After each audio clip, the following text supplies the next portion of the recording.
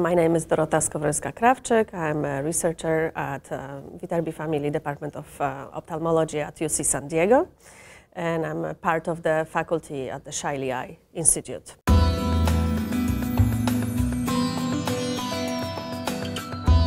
This is an amazing honor um, for two um, reasons. Uh, first of all, Glaucoma Research Foundation is uh, really aimed to um, help patients and to fund translational research that can be brought to clinic.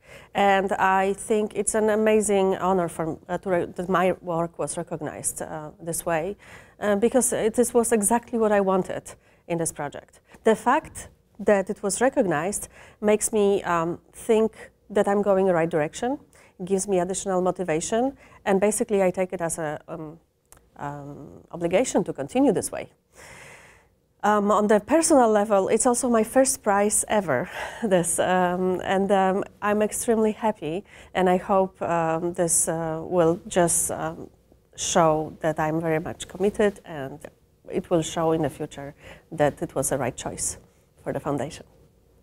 In our work, uh, we were trying to understand why cells die in the retina even after elevating the intraocular pressure. And in short, what we have shown that if we remove the first six cells, which we call them senescent cells because of the mechanism how they uh, are sick, uh, if we remove the first uh, senescent cells, in the retina, we can actually protect the others, which were not yet affected by the disease. Um, this um, has potentially quite important um, uh, meaning for the clinic because if we recognize very early the disease and we can remove the very first uh, cells that are already becoming uh, already becoming senescent, uh, we may be able to protect the retina and vision. Yes, our studies are um, applicable for um, the cases where uh, the loss of vision is still uh, happening even after uh, treatment with the drugs lowering the IOP. And in this sense, it has a, quite an important uh, possibility to be combined with other therapies. Also, we have to remember about the um, non-tension glaucoma and other type of glaucomas, which are almost non-treatable. So our work now is trying to find out whether the same mechanism applies to our uh, type of glaucomas.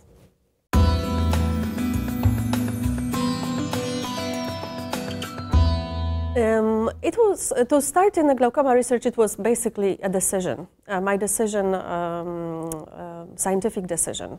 I was for many years involved in um, studying development of retina, development of retinal ganglion cells themselves, and it, it is a very fascinating project and fascinating subject. And as you know, it's very important for retina regeneration and so on.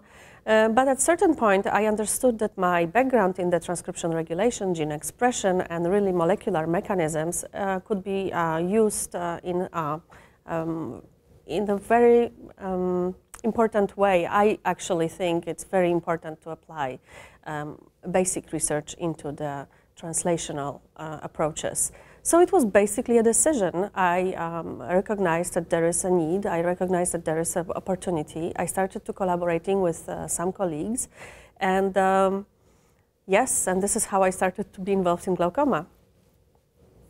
I decided to be a researcher um, when I was 10 years old. That was my first job I remember ever. I always wanted to be a scientist. I loved biology, I loved genetics, and um, I developed uh, then a very um, uh, um, huge interest in molecular biology.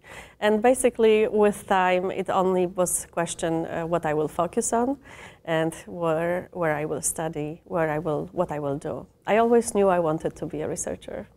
I will not very exaggerate if I say that this grant uh, from Glaucoma Research Foundation was basically instrumental for these studies.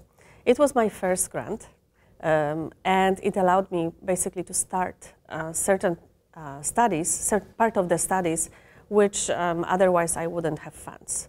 Um, also, it allowed me to put one of my postdocs partially on this project so um, she could actually uh, continue working. I am um, extremely grateful to Glaucoma Research Foundation. It gave me the push, it gave me motivation, and of course funds.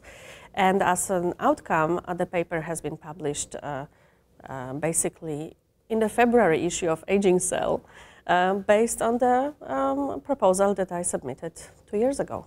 I'm absolutely so happy. It's really amazing. And then in the meantime, I got to know about this prize, which was like, it's just like publication already itself is a prize. So this kind of recognition, I take it as a, a more like a credit uh, for a future. I will try to do my best.